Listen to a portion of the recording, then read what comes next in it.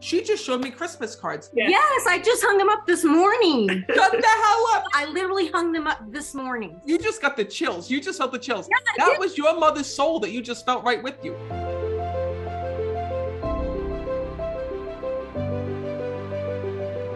Well, first of all, there's a soul that's coming that I keep hearing on life support. Who passed on life support? My mother. Okay, she's here. And it was crazy because I felt her going like this, like trying to get my attention. And she kept saying to me, Matt, my girls are right there. My girls are right there. I'm looking at the screen like, who? And she goes, just tell them life support. They'll know it was me. So, no, first of all, it's her way of acknowledging that she's here. She's also telling me about the birthday. So, first of all, did she passed right before the birthday, or what's the connection with the birthday? Before my sister's birthday, her daughter. She passed before my birthday. She says, please let my daughter know that I that first of all, she was trying to hang on here in the physical. And your mother keeps saying to me, the reason why she had to come through is she needs to let you two know that she knows every single thing that you had done for her here in this world. Because she says to me, Matt, they were trying to keep me alive. They were trying to keep me alive. And she said to me that you would not take her off of life support here in this world. She Would says to me, Matt, I saw them praying for me. She Oh. says, I saw them singing to me because you were on the side singing to her and saying different things to her. She says, and Matt, she says, I gotta let them know one thing. She says, Thank you for giving me the chance. Thank you for giving me the chance. She even tells me that you brought in other doctors to see your mom or to evaluate your mom because you did not want to have to make the decision to let her go. Yeah. Your mom says to me this. She goes, Matt, she goes, and she keeps call- calling you her babies. She goes, Please let my babies know. So, did she used to call you that here in this world? Yes. she keeps saying to me, so she's not saying my daughters. She keeps saying to me, tell my babies, tell my babies, Matt. She says that if I, if I could have stayed here in this world, she says I would have. She says, but she's gonna let you know one thing. You did not make the choice to let your mom go. Okay. Please know that even though she was hooked up to that machine, her soul was already on the other side because I see that. okay. She says, I have to let them know the choice was actually mine, not theirs.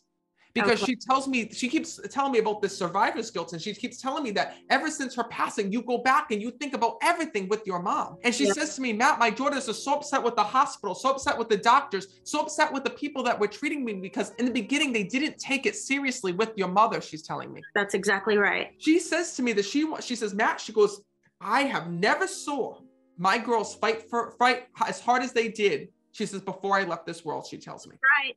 That's right. And she also tells me that there was this big issue that had happened where they were trying to send your mom home in the beginning, or they didn't want to take your mom or treat your mom. Yes.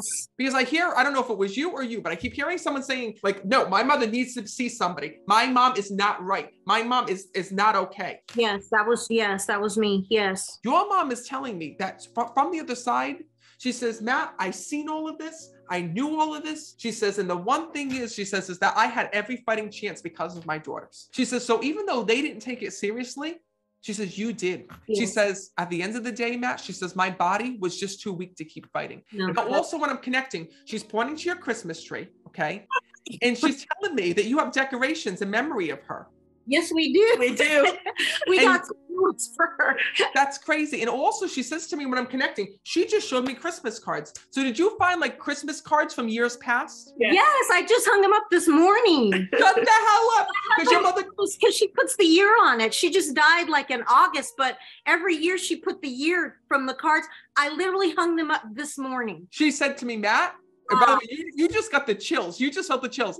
I that was your mother's soul that you just felt right with you. Because she says to me, Matt, if you, she goes, I want them to know one thing. She goes, I need to let them know that this is real. She says, so if you talk about the cards, my daughter's going to say, without a doubt, that's my mother. I know for sure she was here with me. Just did it. Oh my goodness. Wow. Awesome. You know what's amazing is that your mom says to me, Matt, I wish they could see me now because this woman is beautiful on the other side. She's all dressed up when I'm connecting with her. Okay. She shows me, Matt, she says, I got my hair done. And your mom, listen, oh my God, she's making me blush. I don't want to say it.